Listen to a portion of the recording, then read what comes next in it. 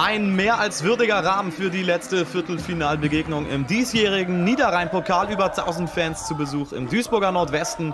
Der VfB Homberg, Tabellenführer in der Oberliga, empfängt Regionalligist Wuppertal mit den schwarzen Trikots. Die klassentieferen Gastgeber, demzufolge logischerweise ganz in Gelb gekleidet, Trainer Stefan Janssen hatte vor der Partie verkündet, in einem Pokalspiel ist alles möglich. Was danach folgte, war hoffentlich nicht nur die Einzahlung ins Phrasenschwein, sondern auch eine ordentliche Anfangsphase seines Teams von rechts nach links, die in der ersten Viertelstunde mehr für die Offensive taten, allerdings ohne die letzte Präzision auf schwer bespielbarem Geläuf. Der WSV das erste Mal nach einer guten Viertelstunde vorne aktiv. Die Ecke eher mittelmäßig, aber dann ist Hagemann da und beim zweiten Mal sitzt er.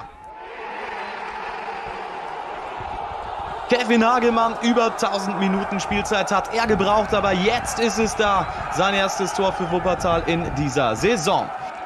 Und das Team von Coach Adrian Alipur, es braucht seine Offensivkraft mehr denn je. Top-Torjäger Christopher Kramer in der Winterpause ja in die Regionalliga Südwest gewechselt.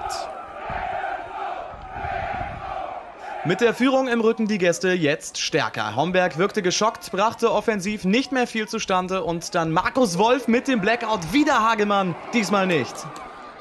Hagemann das 2 zu 0 auf dem Fuß scheitert an Philipp Gutkowski im Homberger Kasten. Danach kann der VfB das Spielgerät klären.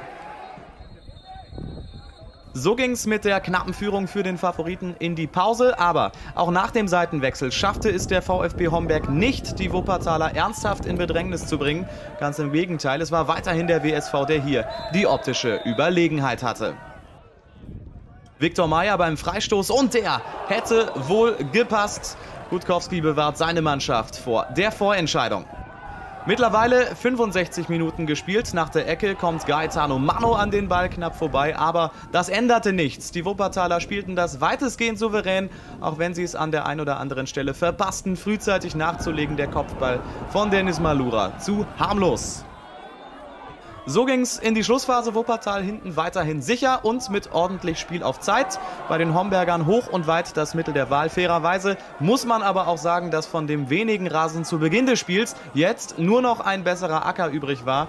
Der strömende Regen tat da sein Übriges an gepflegtes Kurzpassspiel, also nicht im entferntesten zu denken. Und dann war es geschafft. Der Wuppertaler SV wird seiner Favoritenrolle gerecht und steht verdient in der nächsten Runde.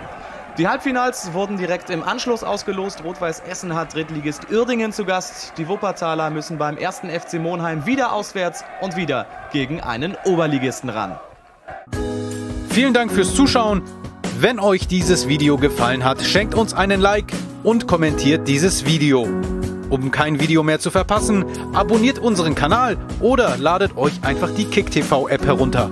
Vielen Dank fürs Zuschauen.